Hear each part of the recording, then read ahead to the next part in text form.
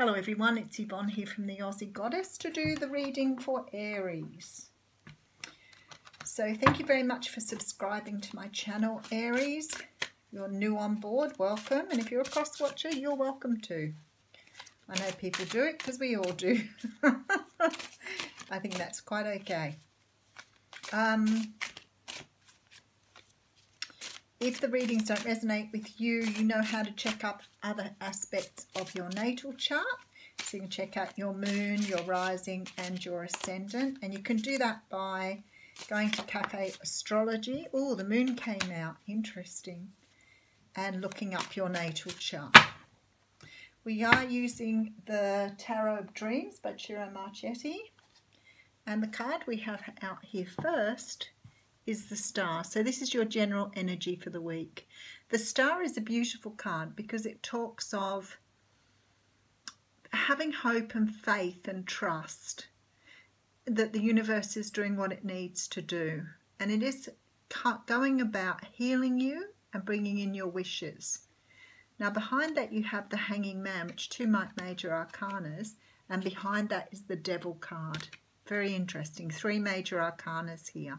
So what this talks about is you taking time out to get on your pathway and you're coping with this devil energy. So it could be that you're recovering or healing from codependency, excess of some kind, obsessive behavior, drugs, alcohol, whatever it is that you've had that maybe you've had an obsession in. You could have been dealing with someone with that devil energy. So sometimes that can represent the ego. It can represent very sort of narcissistic people. But you're definitely coming through and healing here, Aries. Okay, so the first card you've got is the Queen of Pentacles, Queen of Coins. Now this is an earth sign, so Capricorn, Taurus, Virgo. So you could be dealing with an earth sign. Now this earth sign is very practical, very down to earth, very earthly. Could be quite nurturing.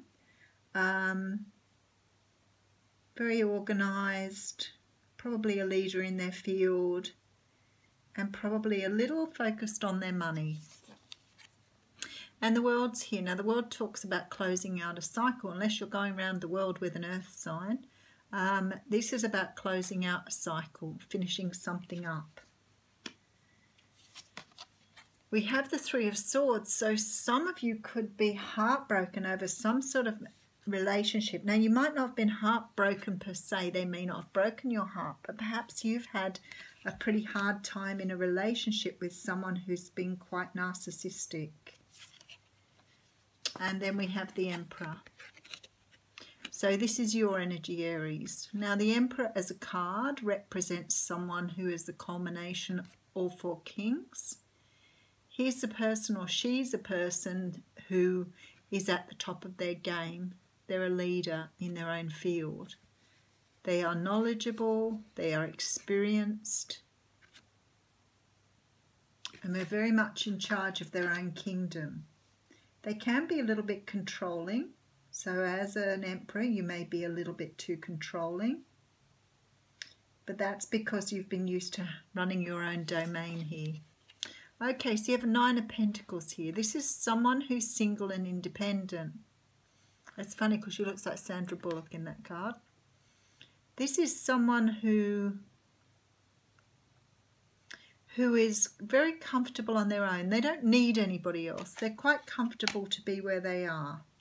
It could be this earth sign that you're dealing with here, but this person is very independent, very self-sufficient, very confident and self-assured. We do have the death card here. So this death card talks about transformation, some sort of transformation, some sort of change here that you're going through. You're letting something die here. Um, we'll get a little bit more energy. Eight of Cups. So you're walking away from something. You must be walking away from that relationship I saw at the beginning there. something that's not emotionally satisfying. Okay, that's interesting. You have the King of Coins here as well.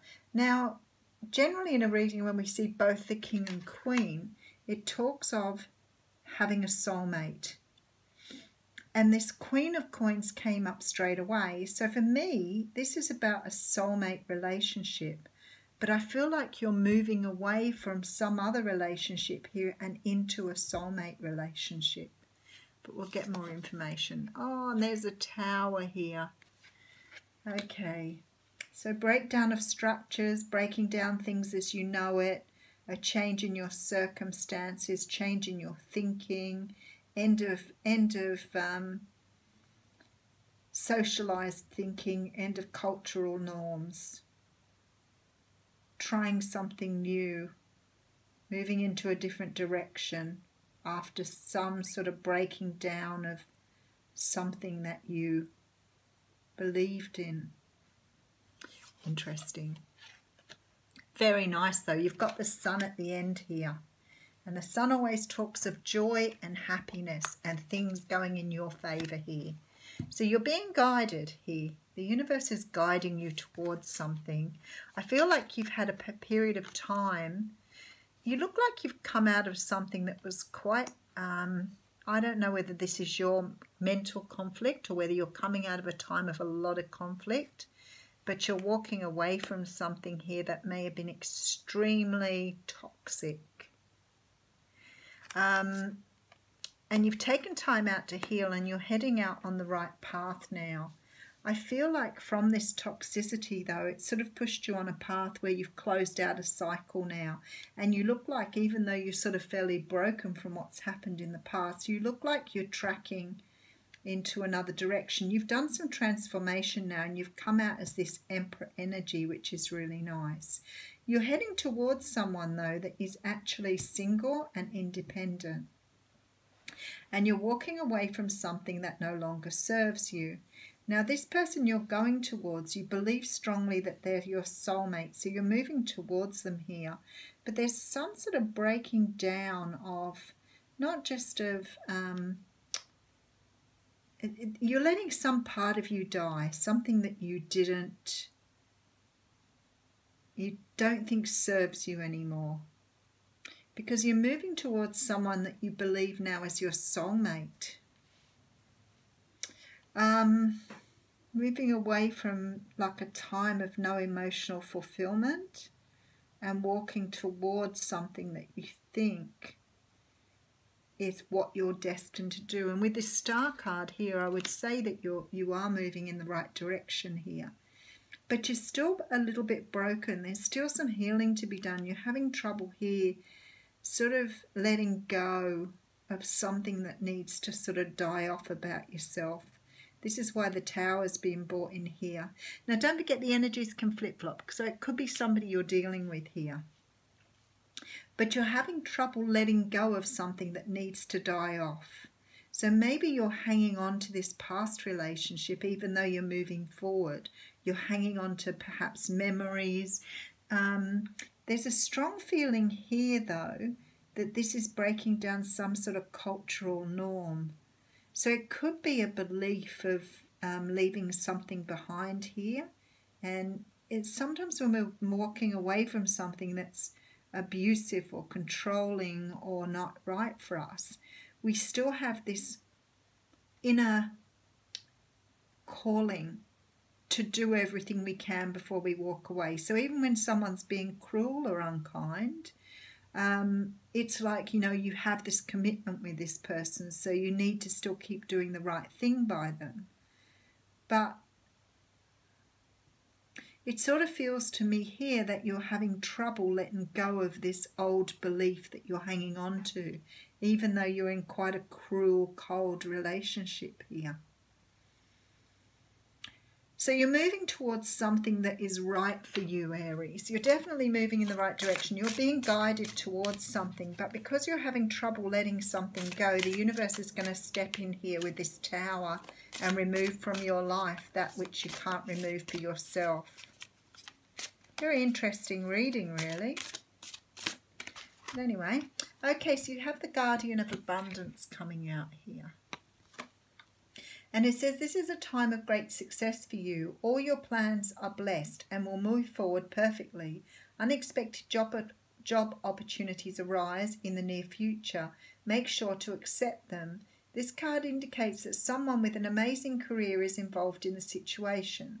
This is a powerful person with great integrity who enjoys hard work. This person could be you. So it sounds like you're um, quite determined to make sure that you keep going on your path. But yet, you're having trouble letting go of something, and it's quite possibly this belief that you have to keep going. Stay in something perhaps that's quite toxic for you. But the universe is going to bring that up because you've got the sun out here, which always means there's a good outcome regardless. Thank you, Aries.